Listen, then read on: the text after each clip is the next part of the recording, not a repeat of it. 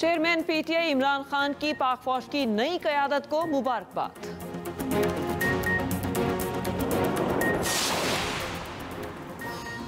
इमरान खान ने अफसरान को मुतनाज़ बनाया और उनके मुस्तबिल तबाह किए। मरियम नवाज़ का रद्द अमल।